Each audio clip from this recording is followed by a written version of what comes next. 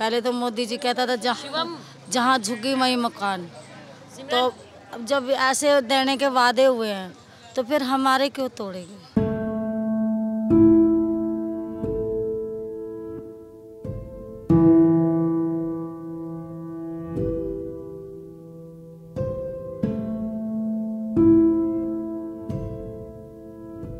नमस्कार news clip में आपका स्वागत है।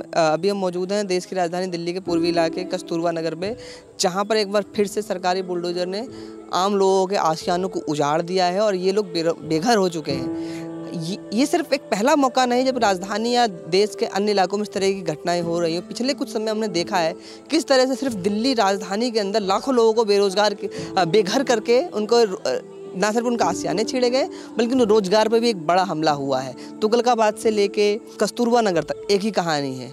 लोगों के कई दशकों से बने मकानों को सरकारें जमींदोज कर रही है। यहाँ पर रहे लोग कुछ सालों से नहीं, बल्कि ये लोग आज़ादी के बाद से ही पाकिस्तान से जब से लोग हिंदुस्तान आए, तब से वो लोग यहीं पर रह के अपना जीवन यापन कर रहे थे। तो इनका कहना है जो नेहरू ने इनको ये ज़मीन दी थी रहने के लिए, लेकिन उस समय कोई कागज़ी कार्रवाई इनको ज़रूरी नहीं नहीं करी और तब से लोग यहीं पर रह रहे थे। लेकिन आज टूटने के बाद ये लोग बेघर हो गए हैं और इनके पास कुछ भी नहीं बचा है। हालाँकि, और इसमें डीडीए और सरकार की चालाकी देख समझिए, आज कोर्ट में इनकी सुनवाई होनी थी। कोर्ट की सुनवाई दस बजे शुरू होती। उससे पहले ही सात बजे सुबह सुबह आके उन्होंने बुलडोजर से मकानों को जमींदोज कर दिया और सोलह परिवारों के मकानों को ख़त्म नस्ते नाबूद कर दिया। बाकी मकानों पर बुलडोजर चल ही रहे थे कि उसी समय तक कोर्ट ने इनको स्टे दे दिया और स्टे मिलने के बाद अगली कार्रवाई तक के लिए कोर्ट ने किसी भी तोड़फोड़ पर रोक लगा दी है, जिसके बाद से बाकी जो मकान टूटने थे वो बच गए हैं और अभी ये लोग यहीं पर हैं। इसके बाद इन लोगों का साफ़ कहना है, जब तक इनको मकान के बदले मकान नहीं मिले, कहीं नहीं जाएँगे और इनके पास कोई दूसरा ऑप्शन नहीं है तो इसी अपने मलबे पे तिरपाल डाल के रहने को मजबूर हैं। सुबह ये हुआ था कि 24 तारीख का हमारा नोटिस लगा था। उन्होंने कहा कि खाली करना आपको 24 के और 25 के बीच में खाली करना है। लेकिन हम लोगों ने, हमने केस डाल दिया उनके लिए। केस डाल दिया तो हमारी डेट सुबह केस की थी, दस बजे सुबह। आज ही, आज की डेट थी हमारी और आज ही हमें जवाब आना था। लेकिन उन्होंने, उन्हें मालूम पड़ गया कि इनका ये समय उनका बन चुका है। उन्होंने फिर ऐसा किया, उन्होंने ऑर्डर ले लिया सुबह सात बजे का, कि लॉसमेंट वहाँ कर रहे हैं, सुबह छः बजे घर खाली किए जाए और सुबह सात बजे, साढ़े सात तोड़ाई चालू हो जाएगी। अपना जो सामान है, वो खाली कर लीजिए। मकान टूट गए हमारे। हाँ जी, और डी डी तोड़ दिए हमारे, ओम प्रकाश ने तोड़ाए विधायक ने।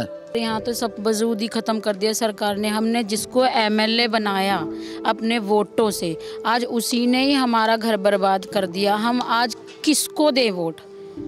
हमारा जो विधायक था, उसी ने हमारे साथ चाल चल के ये हाल कर दिया हम लोगों का। हमारे दादाजी, दादी सत्तर साल से यहाँ पे बस रहे थे। आज उनका सब चीज़ का कबाड़ा कर दिया। हमारे सत्तर साल से तो हमारे ससुर पचहत्तर साल से, पैंतालीस साल मेरे को हो गए शादीशुदा हो यहाँ पे बहू हूँ मैं। पाँच बहुएँ हमें, दस बहुएँ हमारी हो रहे हमारी। हमारे माता पिताजी 1948 के अंदर पाकिस्तान से आए थे। हम लोग हिंदू समाज से थे, और तब से हम वहाँ यहाँ दिल्ली के अंदर आए थे, हमारे माता पिता। तब से नेहरू जी ने उन्नीस सौ सत्तावन के अंदर ये ज़मीन दी थी, दान के अंदर। कोई डॉक्यूमेंट्स नहीं दिए थे हम लोगों को। तब से हमारे पिताजी यहाँ रह थे, हम पाँच भाई पैदा हुए। पाँच भाइयों के पिताजी ने बीस बीस गज हमें ज़मीन दे दी। हम परिवार साथ सहित यहाँ रहते हैं। हम लोगों ने जितना सामान उठा उठा बाकी रह भी गया उसमें हमारा सामान टूट चुका है। उन्होंने हमें मौका नहीं दिया। फिर हमारी वहाँ डेट लगी हुई थी। कोर्ट के अंदर डेट लगी हुई थी हमारी। तो उसमें जब हमारी स्टे की डेट आई ना ऑर्डर आए तो जब भी इन्होंने रोका ही नहीं। तेरह तेरह विधायक गुजर चुके चौदहवा यही आया है। इसी ने हमारे तोड़ तोड़ाए हैं, इसको पता नहीं क्या दुश्मनी थी। अभी तो हम लोग फ़िलहाल यहीं पे स्टे के लिए लेके बैठे हैं, अभी यहीं पे ही बैठेंगे। जो भी झुग्गी झोपड़ा अपना बनेगा, यहीं बैठेंगे, क्योंकि हमें कहीं ना कहीं अभी लग रहा है कि अगर हमारा कोर्ट में केस गया है तो हमें कहीं ना कहीं एक परसेंट उम्मीद हो रही है कि सरकार हमें देखे। अब तो तोड़ ही दिया है, मगर हमें अभी भी कहीं ना कहीं उम्मीद है सरकार से कि एक परसेंट की वो हमारा अगर घर तोड़ा है तो हमें कुछ ना कुछ तो दे, जिससे हम कुछ अपना सर ढक सकें। आने वाले टाइम में हम बिल्कुल निकत हो चुके हैं। कुछ भी नहीं है हमारे पास। दस बजे का टाइम था। इन्होंने सात बजे बुलडोजर चला दिए हमारे घर पे। जो हमारे ससुर हैं छियानवे साल के हैं। तो वो जब से वो पाकिस्तान से आए थे जब से वो लोग रह रहे हैं। अलग हुआ था ना तो जब से अलग होके सीधा यहीं पे ही इनकी बसर हो चुकी थी। ताजे रोज़गार करते हैं ऑटो चलाने वाले हैं। तो कहाँ जाके बनेगा हमारा? हमारे घर तोड़े तो हमारे को घर दीजिए। माँ बाप के साथ जीवन बिताया अच्छा टाइम पूरा परिवार एक साथ, पाँच चाचा, उनकी वाइफे बच्चे, हम सब एक साथ पले बड़े हैं, कभी हम अलग नहीं रहे हैं। आज सत्तर साल में ऐसा टाइम है कि हम सब लोग अलग अलग हो चुके हैं। कोई भी साथ नहीं है। किसी को कहीं मकान मिल रहा है, किराए पे किसी को कहीं। अब हमारे पास खाने के लिए भी नहीं जुड़ेगा, हम किराया कहाँ से देंगे? दस हज़ार रुपये महीने का रेंट बता रहे हैं। जब से ये पर्चे लगे थे यहाँ पे घर टूटने के लिए, तब से उन्होंने रेंट भी बढ़ा दिया गली मोहल्लों वालों ने कि, क्योंकि मजबूरी में ये लेंगे। इस वजह से हम बहुत चीज़ से मोहताज हो रहे हैं, हर चीज़ से। खाने को नहीं जुड़ रहा हमसे। वोट तो लेते थे हाथ जोड़ जोड़ के ऐसे। हमारे को कुछ नहीं मिला। वे हमारा तोड़ दिए तो हमारे को मकान दे दो। चालीस साल मेरी शादी को हो गए। यहीं पे रह रही हूँ। तीन बेटे हैं मेरे तीन बहुएँ हैं। और यहीं पे रह रहे हैं। ऊपर नीचे तीनों बेटे सटल हैं। अब टूट गए हैं तो अब कहाँ जाएँगे? हमारी जंग यही है कोर्ट के कोर्ट के पास कि हमें ठीक है आपकी ज़मीन है, आप ले रहे हो, उससे पहले हमें कहीं बैठने का सहारा दो।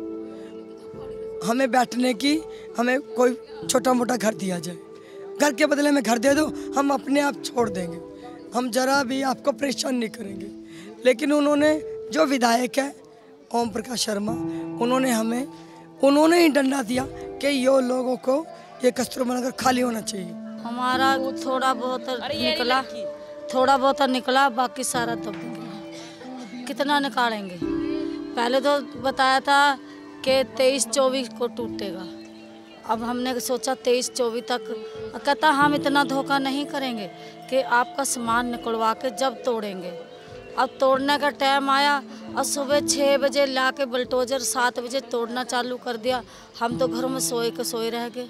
कितना निकाल लेंगे? मेहनत, मजदूरी करके एक एक पैसा जोड़ के और रक्षा साइकिल रक्शे चला चला के मेहनत, मजदूरी कर कर के हमने मकान बनाया है और वो आके इसने क्या ना विधायक ने तोड़वा दिया, ओम प्रकाश विधायक ने तोड़वा दिया है मकान हमारा। पुलिस हमें धक्के दे बाहर निकाल रही लेडीज़ पुलिस धक्के मारी, ज़्यादा बोलोगे 140 धारे लग जाए 144 धारा लग जाएगी। अगर ज़्यादा ज़बरदस्ती करके घुसोगे बाहर घर के अंदर। सोलह परिवार थे साठ लोगों का नोटिस है। अभी स्टे मिलने की वजह से बीच में रोक दिया गया है काम। एक जुलाई की डेट दी गई है। एक जुलाई को देखो क्या होता है। हमारा हक चाहिए हमें तो घर में घर चाहिए। अगर सरकार देना चाहे तो हम तो झोड़ी आट के और ये मांग रहे कि हमारे को घर चाहिए। हमारे बस का नहीं है। हमने बहुत एक एक ईंट लगा के अपना घर बनाया।